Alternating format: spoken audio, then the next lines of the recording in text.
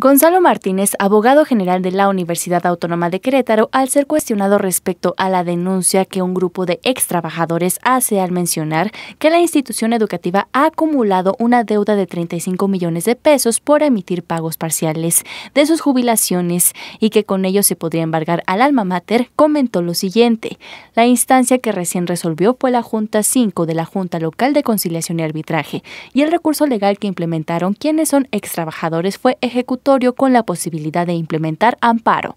Tanto la parte acusada como la quejosa recurrió a tal vía y se reconoció que existen diferencias que deben pagarse a 14 personas, lo cual es una suma de poco más de 527 mil pesos, pero tal caso todavía deberá ser resuelto por el Tribunal Federal. Y respecto a esas 14 establece unas diferencias aproximadas de 527 mil pesos.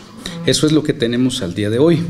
Ahora, como todo proceso, como se trata de un laudo que no se encuentra firme, la universidad está en todo momento de la posibilidad, teniendo la posibilidad de poder solicitar la suspensión de la ejecución por esos 527 mil pesos y fracción, lo cual en automático podría y debería de detener alguna situación de embargo.